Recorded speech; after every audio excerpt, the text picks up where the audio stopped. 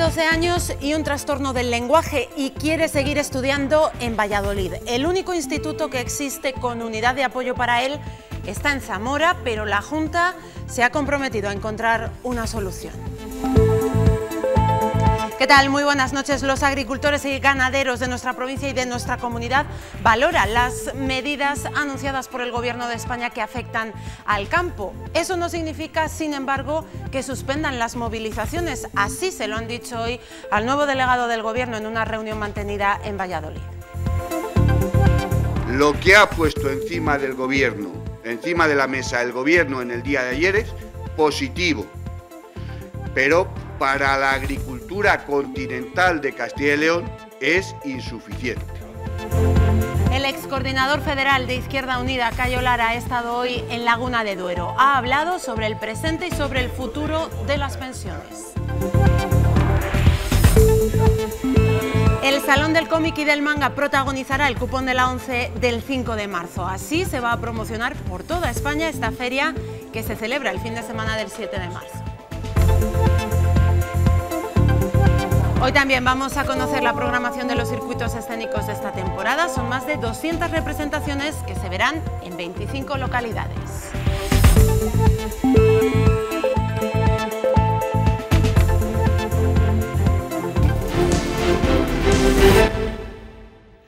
El nuevo delegado del Gobierno en Castilla y León ha mantenido hoy su primera reunión oficial y ha sido con las organizaciones agrarias de la comunidad. Estas han mostrado su satisfacción por el decreto ley aprobado por el Gobierno de España para garantizar unos precios justos al sector primario. Sin embargo, las OPAs también han advertido que es un paso importante, pero no la solución a todos sus problemas. Ha sido la primera reunión, pero no será la última. Desde la delegación del Gobierno garantizan diálogo y mano tendida. Es una muestra de la importancia que se concede a agricultores y ganaderos. Sobre la mesa, el decreto ley aprobado por el Gobierno fija precios, garantiza costes de producción y da un paso más. Las sanciones puedan ser públicas, poner en valor también ante la sociedad quién tiene prácticas correctas de, de negociación y de, y de compraventa de productos del sector primario y quién no las tiene y que por tanto el consumidor también pueda tomar decisiones en este sentido. Satisfacción en las sopas, pero reconociendo que es solo un punto de partida. Podremos intentar negociar unos precios dignos, unos precios rentables a los agricultores y a los ganaderos, porque no nos basta con cubrir los costes de producción. ¿eh? Aquí trabajar solo por, eh, por salvar los gastos no lo hace nadie. Encuentro en el que han aprovechado para hacer otras reivindicaciones. Recurrente, la PAC. Puedan seguir con actividades e incrementar el nivel de ayudas. Y es posible repartiéndolo mejor, definiendo agricultor genuino al menos en aquel que tiene un 25% de ingresos agrarios. Y han pedido la mediación para mejorar las relaciones con otro de los pilares básicos del campo. Pocas relaciones, insuficientes y el deterioro que siempre hay con lo que es la Confederación Hidrográfica del Duero. Denunciamos el escaso presupuesto que tiene, denunciamos el, el retraso en todo lo que son solicitudes e infraestructuras. Todos han destacado la labor fundamental que desarrollan para fijar población, abastecer de alimentos al resto, reducir el efecto invernadero y apoyar la transición ecológica tan necesaria. Y ACOR ha firmado hoy un acuerdo con las organizaciones agrarias para la defensa del cultivo de la remolacha y han fijado un precio para los próximos siete años. ACOR defiende el pago de 42 euros por tonelada para que este cultivo siga siendo rentable. Es un cultivo estratégico, está fijando población allá donde tiene actividad y alrededor de la remolacha giran los otros cultivos de regadío. Siempre hemos dicho que la remolacha al final es cabecera de la rotación. Da estabilidad seguridad y además mantiene con esperanza y con futuro el cultivo de la remolacha. Cayo Lara, el ex coordinador federal de Izquierda Unida, ha estado esta tarde en el Ayuntamiento de Laguna de Duero para hablar de las pensiones. Allí ha dejado clara su postura. El sistema público de pensiones es viable y se puede mantener en el tiempo. La fórmula, ha dicho, es sencilla. Además de las cotizaciones de los trabajadores, es necesario que se destine a ellas una partida de los presupuestos generales del Estado. También considera que los impuestos no deberían ser iguales para todos Este gobierno lo que tiene que tener es una voluntad política decidida para que en España paguen los impuestos de verdad aquellos que los tienen que pagar y son los que obtienen muchísimos beneficios. Es decir, los que se conocen últimamente cada vez más, están creciendo los nuevos ricos y los capitales que están creciendo en España de una manera importante en determinados sectores. La familia de un niño con disfasia de Valladolid lleva meses pidiendo a la Junta que su hijo pueda estudiar en un instituto de la ciudad. El apoyo escolar que necesita solo está implantado en un centro de Zamora. Aún no hay confirmación oficial, pero sus quejas parece que han dado resultado y no tendrá que desplazarse a diario. Su asignatura favorita es Sociales. Porque me gusta mucho la historia. Esta confesión es un triunfo porque hace dos años a Rodrigo le daba pánico ir a clase. Estuvo ingresado en psiquiatría infanto-juvenil, llegamos al punto porque cogió fobia a entrar al colegio. Era una lucha diaria, todos los días la policía, el 112, le llevamos a urgencias. Sufrió acoso y pasó por varios centros hasta que le asignaron uno con apoyo específico para su trastorno. El cambio ha sido fenomenal, la medicación se la hemos podido reducir, logramos hacer letras antes de entrar en este colegio eran picos, no tenía caligrafía. En septiembre empieza secundaria, pero el único instituto con atención para alumnos con disfasia está en Zamora. El avance que ha sido estos dos años de tranquilidad y todo no lo podemos dejar perder porque en educación no nos pongan medidas para, para mi hijo. Me gusta mucho estar aquí y si me voy de aquí pierdo mis amigos, no los puedo ver. Después de meses luchando y a falta de una confirmación oficial... Yo no tengo constancia que me haya llamado ni la Junta ni se ha puesto en contacto para decirme Rebeca, tu hijo va a tener esto. Parece que Rodrigo podrá estudiar en Valladolid.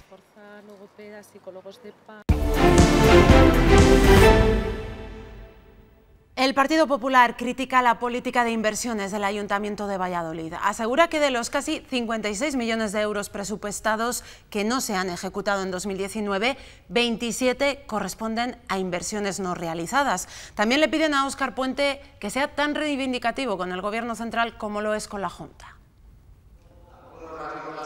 El Grupo Municipal Popular acusa a Óscar Puente de mentir sobre las aportaciones que hace la Junta a los servicios sociales. Comparamos acuerdo marco del año 2019 con acuerdo marco del año 2020 y hay un incremento de la aportación del 5,4%. Lo que está diciendo esta ley es que el ayuntamiento como mínimo debe aportar, los ayuntamientos deben aportar como mínimo un 10%, pero no dice que la Junta debe aportar el 90%. Y le pide que sea igual de reivindicativo con el Gobierno central y que reclame, por ejemplo, el pago del IVA correspondiente al mes de noviembre de 2017. Los contribuyentes han pagado 12 meses del IVA en ese año, en el año 2017, y sin embargo para prestar los servicios que prestan ayuntamientos y comunidades autónomas solo han llegado el IVA de 11 meses. Alguien se tiene que haber quedado con ese dinero y evidentemente es el Gobierno de España. Aseguran desde el Partido Popular que esto ha supuesto que en la liquidación de 2019 al ayuntamiento le ha salido a devolver más de 130.000 euros. En el 18 la liquidación fue positiva de 556.000 979. En el año 19, que es el siguiente, donde se produce el problema del IVA, sale a devolver, o sea, el Ayuntamiento de Valladolid tiene que devolver al Gobierno de España 136.631 eh, euros. Quiere decirse que hay una diferencia, sin contar con que la recaudación todos los años aumenta, hay una diferencia bastante importante cercana a los 700.000 euros. Es una de las mociones que presentarán en el próximo pleno del consistorio. También pedirán planes de igualdad y contra la violencia de género. Hoy ha habido Consejo de Administración de Aquaval, aquí han dado a conocer las cifras de ejecución de las inversiones del año pasado. Destacan que en los dos años y medio que gestiona este servicio la entidad municipal se han licitado 22 millones de euros en inversiones frente a los 27 que se invirtieron durante los 20 años de gestión privada. También han informado de que la obra del colector del Paseo de Zorrilla se retrasa al menos hasta el mes de mayo porque tienen que volver a adjudicarla por el desistimiento de la empresa elegida. El BBVA está inmerso en un proceso de cambio en Valladolid que ha afectado, entre otras cuestiones, a su sede central en la calle Duque de la Victoria. Esta tarde han inaugurado esa remodelación. Ahora tiene un aspecto interior mucho más moderno y con un sistema de cita previa como eje de relación con los clientes. Los usuarios pueden pedir por una APP del móvil o acudir en persona a la sucursal para decidir el día y la hora a la que quieren ser atendidos. BBVA ha cerrado la sucursal que tenía en los bajos de la Casa Mantilla de la Acera de Recoletos y ahora centraliza toda la atención de sus clientes en la oficina central de Duque de la Victoria, donde trabajan 70 personas. Mucha gente ha acudido hoy a las iglesias porque es miércoles de ceniza y también ha habido mucho movimiento en la iglesia de la Veracruz de Valladolid, en la calle Platerías. Aquí se ha celebrado durante todo el día el besapié a nuestro Padre Jesús atado a la columna. También aquí, a última hora de la tarde, han ofrecido la Eucaristía con imposición de la ceniza.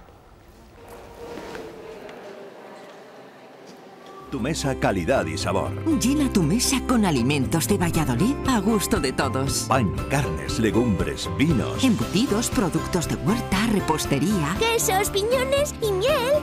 Los mejores productos de Valladolid con distintivo de calidad. Alimentos de Valladolid a gusto de todos. Infórmate en www.diputaciondevalladolid.es. La ruta del vino de la Diputación Provincial de Valladolid nos trae este sábado 29 de febrero a la denominación de origen Rueda. Tras un viaje en tren que partirá de la estación Campo Grande de Valladolid, llegaremos hasta aquí a la primera parada, a la bodega Cuatro Rayas, ubicada en la localidad de La Seca. Aquí habrá una visita guiada y también una degustación de sus vinos. Por la tarde habrá un taller de dulces tradicionales en la Giralda de Castilla de Matapozuelos. El precio de esta propuesta es de 55 euros para adultos y 45 para niños hasta 12 años. También el sábado 29 de febrero los más pequeños de la casa tienen una cita aquí en el Multiusos de la Vega en Arroyo de la Encomienda. Habrá ópera para niños. Será a las 7 y media de la tarde. Ferro Teatro pondrá en escena el famoso Cascanueces. A la misma hora en Villanueva de Duero habrá otra cita con el teatro, en este caso musical. La compañía Memorables Décadas recordará las mejores canciones de los 60, 70 y 80.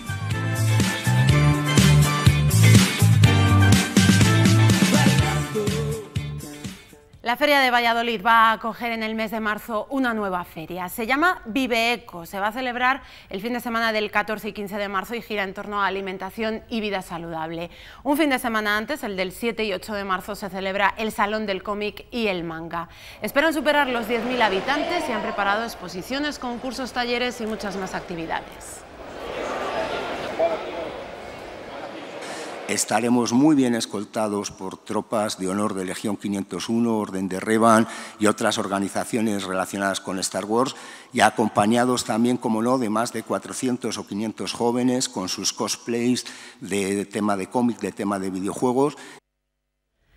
Es una edición especial porque este Salón del Cómic se va a promocionar por toda España gracias al cupón de la ONCE. El 5 de marzo se distribuirán 5.000 cupones promocionando esta feria. La primera vez, además, que la ONCE saca en su cupón un salón, un salón del cómic, no lo hemos hecho nunca, ya era hora eh, que lo hiciéramos, tenemos que hacer cosas nuevas, cosas diferentes y cosas que interesen 25 localidades de la provincia participan en la programación de los circuitos escénicos de Castilla y León. Buscan propuestas de calidad accesibles para todos los públicos. Más de 200 representaciones programadas en 25 localidades de la provincia durante todo el año.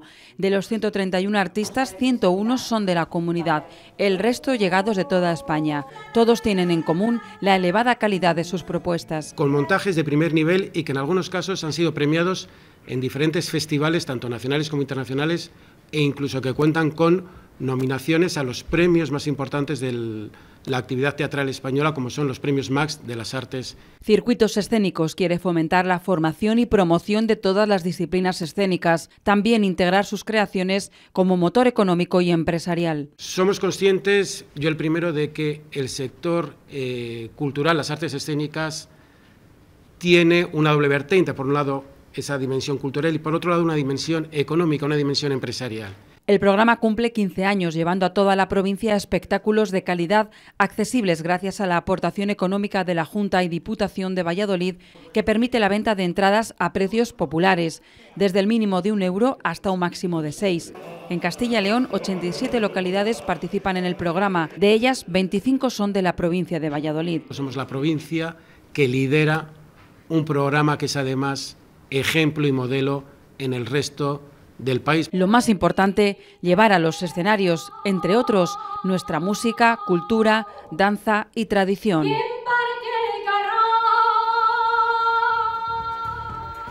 Mañana estaremos en Medina de Río Seco, hablaremos de vivienda y veremos las actividades que se hacen en la cúpula del milenio con motivo del Día de las Enfermedades Raras.